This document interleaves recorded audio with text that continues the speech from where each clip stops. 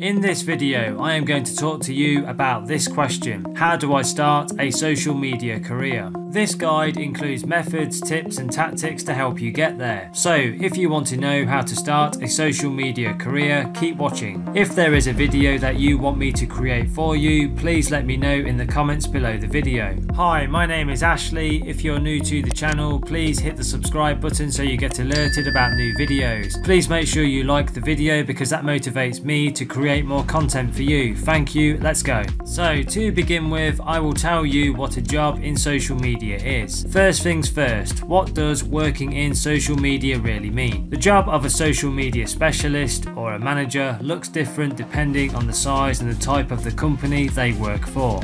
Small businesses often have a single person handling all of their social accounts, or even all their marketing efforts, even the ones happening outside of social platforms. Larger companies may have a team of people dedicated to managing social channels with more specialised roles like social media strategist, community manager, or social engagement specialist. Let me tell you about the main types of roles in social media. The first is social media management, and this includes social media strategy and performance tracking. Then you have content creation, community management, and social media advertising. In smaller companies, these roles may all be bundled into one position. That means when applying to a small team, you'll likely want to present yourself as a social media generalist with broad skills across all of these areas. When applying for a role on a larger social team, you'll want to highlight your specific expertise in one key area. Daily tasks also vary from company to company and even from day to day. In this job, you're not restricted to anything. Social media changes virtually every single day, and you need to be able to adapt to that. Here are some common responsibilities that might be expected of you as a social media worker creative copywriting, graphic design, social ad setup and optimization, performance tracking and data analysis, community engagement, customer support, public relations, end to end planning of social campaigns, and communicating with company stakeholders. So, as you can see, a job in social media can involve wearing many hats. Here are tips and best practices to help you start a social media career. Here we go. Tip number one grow your own social media presence. Building your own social media accounts is an effective way to prove to a potential employer that you know your stuff. And the best part is you can make your personal content about whatever you want. Create your own social account about something that you're passionate about and invest some time in it. Social media presence refers to the visibility a brand has on social media platforms and the connection it builds with its community. The stronger your presence, the more trust you can build with your audience before developing a direct relationship beyond this marketing channel.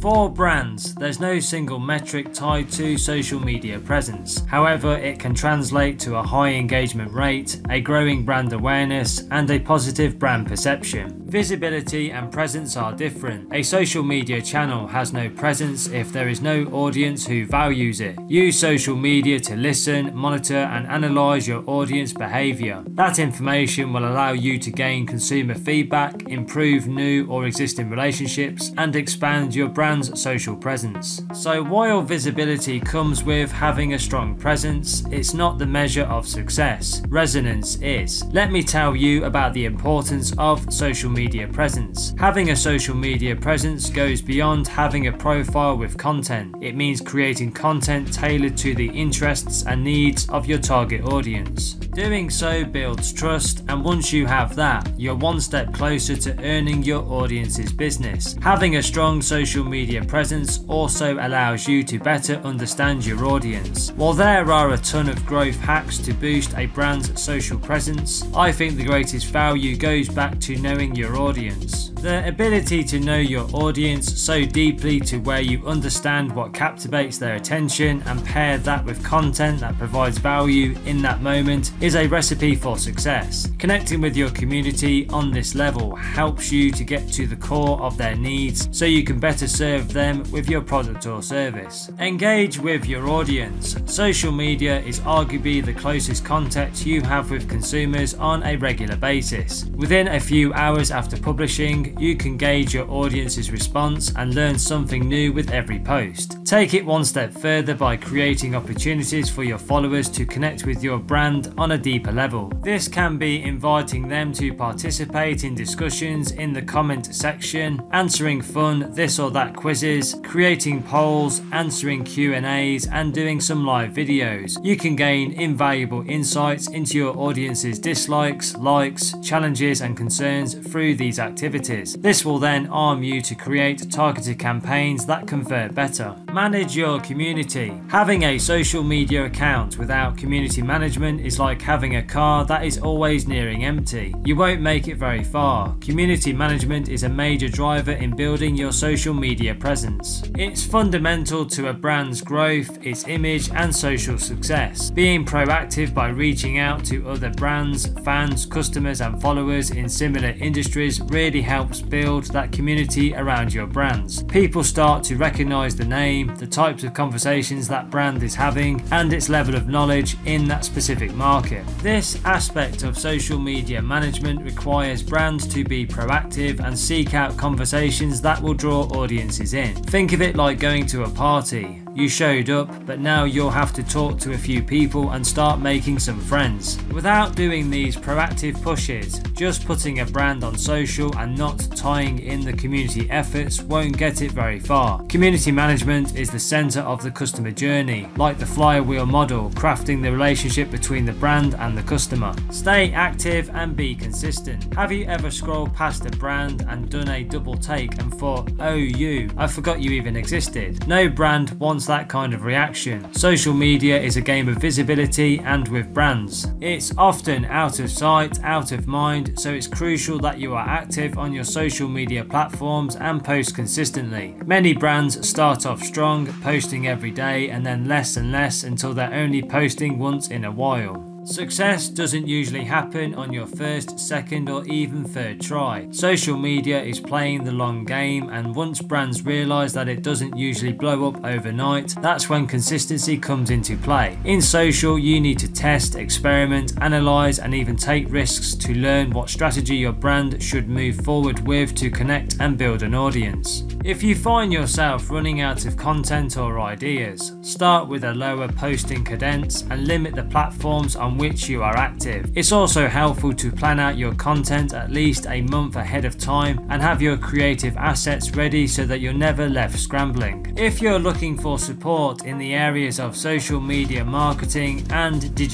marketing, get in touch with the Internet Business School, the UK's leading internet marketing training provider. Just click the link in the description box below this video. Stick to your brand voice and aesthetic. Consistency isn't only about your posting schedule, it also encompasses your brand as a whole. Your brand identity should be the same across all marketing channels. It can be confusing for consumers to understand your brand if its messaging and identity seems to switch from one day to the next. How can your audience connect to something they can't figure out? So once you design your brand strategy, make sure it aligns aligns with your social media strategy. Invest in high quality creative assets. Social media is one of the main sources of brand discovery. Your target persona is scrolling through Instagram, your post shows up and it garners their interest. What's one of the first things they'll do? Visit your profile. You often only have a few seconds to make an impression on a potential customer and you don't want them turned away because of bad content. This can include low quality images, copy with grammar mistakes, and the use of non branded content. Your social media profile tells a story, so make sure it's the one you want to tell. Optimize your profiles for SEO. Social media has made it easier than ever to discover new brands, but just because it's easier doesn't mean there's no work to do on your end. When thinking of SEO, it's easy to assume it's website optimization.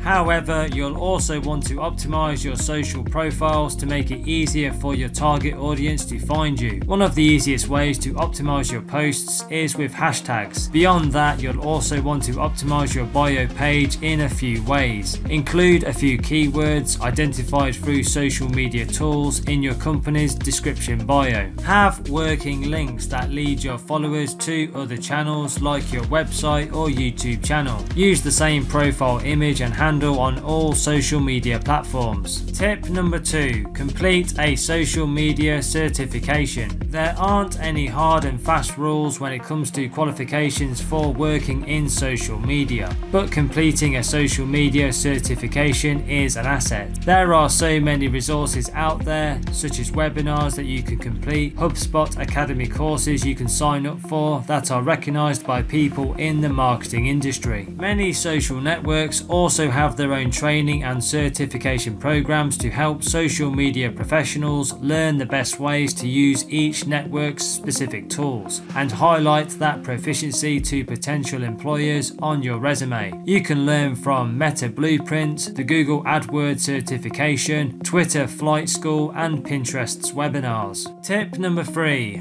Job search using social media. You can find a job on LinkedIn. The best part of it is that you can see other people who work at the company, connect with them, and ask them questions. I suggest to connect with marketers in industries you'd like to work in and arranging informal informational interviews. LinkedIn has some built-in job search tricks too. You can create a search and save notification function on LinkedIn for targeted keywords of jobs you're interested in. That said, LinkedIn isn't the only option. You can join social media community groups on Facebook or follow social marketers on Instagram for leads on positions. Tip number 4. Know what to look for in a social media job posting online. So how can you tell a good job opportunity from a bad job opportunity. Here are some red and green flags to help you out. Here is a red flag. You can't tell what the company does. It's important that you're managing social media for a company that you actually care about. And if you can't even tell what the company does from the job description, that's a bad sign. There are many job listings that don't actually tell you what the company is or what they do. And that means you have to do all the extra research. Here is a green flag. There's a healthy work-life balance. Burnout is real in the social media space. Work-life balance is something you can discuss with a potential employer or even a LinkedIn connection working at the same company. You can also get a feel for the company culture by taking a look at their social media posts. Here is a red flag. The job description is too long. A really lengthy job description can mean that the employer doesn't necessarily know what they are looking for or have realistic expectations. Having five or six specific